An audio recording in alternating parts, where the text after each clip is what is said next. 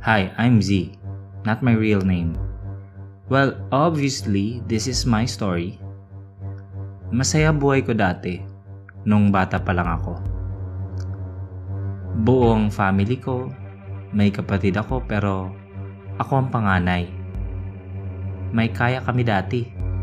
Yung tipong never kaming nakakatikim ng sardinas. Yung ultimo ketchup namin ng kapatid ko, tig-isa kami. Magkaiba kasi kami ng brand na gusto. Sunod kami sa luho noon. Nagsisimba kami tuwing linggo. Hindi ako nagyayabang. Sinabi ko lang yan para mas daman nyo yung kwento ko. Hanggang sa nagbago ang lahat. Nagiwalay parents namin. Nag-ibang bansa si mami at daddy. Magkaiba sila ng bansa. Naiwan kami ng kapatid ko sa tita ko Naghirap kami, yung tipong sardinas na hindi namin kinakain, nakakain na namin. Yung ketchup na ayaw ko, nagustuhan ko na din dahil walang choice. Nagulam ng asukal, toyo, etc. Minsan hindi pa nakakakain ng tatlong beses sa isang araw. Yung pinapadala ng magulang namin, ayun, napupunta sa bulsa ng tita ko yung perang para sa amin sa mga anak niya ginagamit. Ginagawa niya akong kasambahay. Pinaglilinis araw-araw ng buong bahay. Malaki yung bahay kaya kawawa ka kung ikaw lang ang maglilinis ng lahat. Minsan, binubugbog ako dahil lang sa maliit na pagkakamali. Hindi ako kumikibo sa magulang ko dahil yari ako pag nagsumbong ako.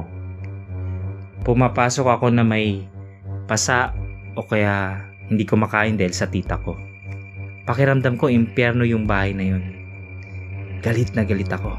Galit ako sa tatay ko dahil nagloko siya na kung hindi niya sana ginawa, edi hindi ko nararanasan yung mga hirap na nararanasan ko. Galit ako sa nanay ko dahil inuna niya pa yung pride niya. Nagmakaawa yung tatay ko kay mami na wag na mag-ibang bansa dahil walang mag-aalaga sa amin pero mas pinili pa din niya umalis. Galit ako sa tita ko dahil sa mga ginagawa niya sa akin. Galit ako sa ibang kamag-anak namin dahil hindi nila kami matulungan. At galit ako sa sarili ko dahil wala akong lakas ng loob magsumbong. Puot at galit. Yan ang nararamdaman ko. Hanggang dumating ang gabi na hindi hindi ko makakalimutan. March 5, 2012. 15 years old ako that time. Nasa loob ako ng kwarto. Madilim. Umiinda sa sakit ng latay na ginawa ng tita ko.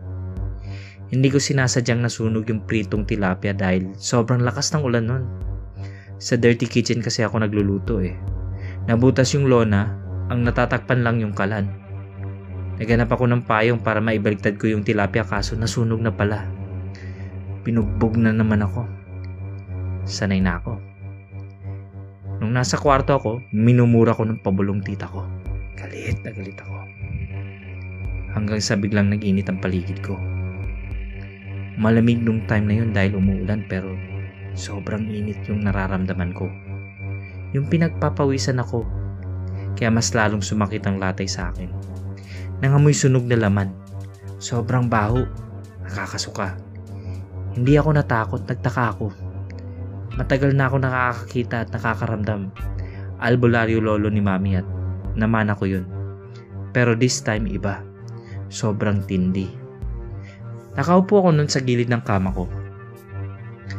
Hanggang sa may naramdaman akong hininga sa bato ko. May umawak sa likod ko. Doon ako natakot. Kinabahan ako dahil ako lang mag-isa sa kwarto dahil kinulong ako doon.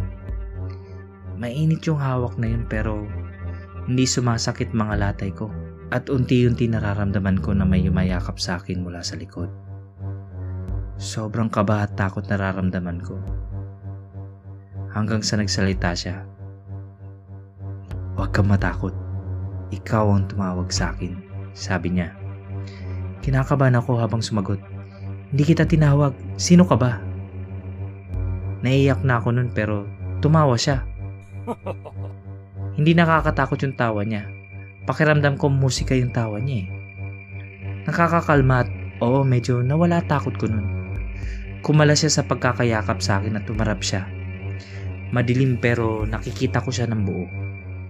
Matangkad siya, maputi, maganda pangangatawan, matangos ang ilong at mapula yung labi pero kakaiba yung mga mata niya. Kulay pula at wala kang makikitang emosyon kahit nakangiti siya. Masyado ka nang naghihirap, Z. Sabi niya habang nakangiti. Pa- paano mo nalaman? Si- sino ka ba? Alam kong hindi ka tao at hindi ka basta-basta. Sabi ko sa kanya. Ang mahinang boses dahil baka marinig ako ng tita ko. Ngumati ulit siya. Lagi ako nakabantay sa'yo. Nakikita ko kung paano ka tratuhin at alam kong matindi ang galit mo. At yung galit mo ang tumawag sa akin. Demonyo ako, Z. Sobra-sobra natakot ko nun pero biglang nag-flashback sa akin lahat. Simula nung masaya pa ako hanggang sa mga ginagawa ng aking pagmamaltrato ng tita ko. Naluwa ako pero hindi dahil sa awa sa sarili ko kundi dahil sa galit ko. Yung galit ko na gustong gusto kong pumutok. Matutulungan kita pero may kondisyon. Naisip ko na kung anong kondisyon yun. Napanood ko sa mga movie pero hindi ko alam na totoo nga. Ah, ah, ano? Sabihin mo ano? Ibibigay ko. Nilamon na ako ng galit ko. Hindi ko na alam kung bakit ibibigay ko sa iyo lahat ng gusto mo pero kaluluwa mo yung kapalit. Huwag kang mag-alala, hindi ko kukunin agad yan sa iyo. Papatagalin muna natin dahil mas masarap ang kaluluwa kapag mas matagal. Nagulat ako dahil ang alam ko, sinasanla lang ang kaluluwa sa demonyo pero hindi. Kinakain pala nila to para mas lalo silang lumakas.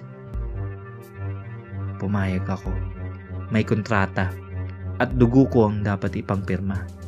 Sinugatan niya ako sa kaliwang baba ng braso ko at sinimulan ko na ang pagpirma. Pero hindi pa tapos yun. May kailangan pang ialay sa kanya, ngipin at buhok. Mahaba buhok ko nun, straight at makapal. Maganda din ngipin ko nun, pantay-pantay. Pero ngipin sa bagang ang sabi niya. Nagtataka ako kung bakit. Dahil mas matindi daw ang koneksyon niya pag ganun. Pumayag ako sa lahat ng gusto niya Nakapirma na ako at nakuha na niya ang hiling niya pero pagkatapos ng usapan namin, nawala na siya. Hindi pa naginip or hallucination ang nangyari. Hinawakan ko yung buko. Umiksi siya at kumulot. Nawala isang ngipin ko sa kanan. May sugat ako sa baba ng braso pero hindi lang yun dahil may nararamdaman akong hapdi sa dibdib ko. Inilawan ko gamit yung cellphone ko at nagulat ako may markang X sa dibdib ko. Sugat siya pero parang, pero walang dugo. Marka ng demonyo. Tumagal ng ilang buwan, tumapang ako. Nasasagot ko na yung tita ko at medyo lumalaban na ako hanggang sa napilit ko sila mami na bumukod na lang kami ng kapatid ko at pumayag siya dahil nakapagsumbong na ako sa kanila. Nalaman ni daddy ang lahat at galit na galit siya Nung nakabukod na kami ng kapatid ko, nabalitaan ko na lang na may sakit sa puso yung tito ko na asawa ng tita ko.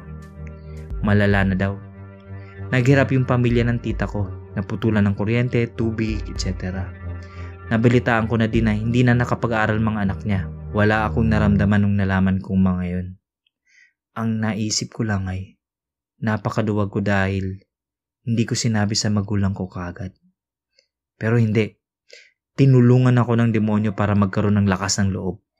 Araw-araw siyang kasama at Michael ang pinangalan ko sa kanya. Madami siyang mga pinapagawa sa akin at isa na doon na yung paghahanap ng mga ibang katulad ko na magkaroon ng kontrata sa demonyo. Madami pa akong ikikwento tungkol sa kung paano nagbago ang buhay ko simula nang makasama ko si Michael. Pero hanggang dito na lang muna. Huwag kayong mag-comment dyan na hindi to totoo. May patunay ako dahil nandito pa din yung marka sa dibdib ko at yung marka ng sinugat sa akin. At sa mga nagpo-post dito na nakaranas ng ganto sa akin, I dare you to comment down. Kating-kati na si Michael na makasama ko kayo. At sa mga naghahanding sa katulad namin, okay, sige, hanapin mo ko. Dito lang ako nakatira sa Olongapo City. Maliit lang na lugar to. Hihintayin namin kayo. Nag-enjoy po ba kayo? Subscribe, nag-upload po kami ng mahigit sa tatlong videos sa loob ng isang linggo. Salamat!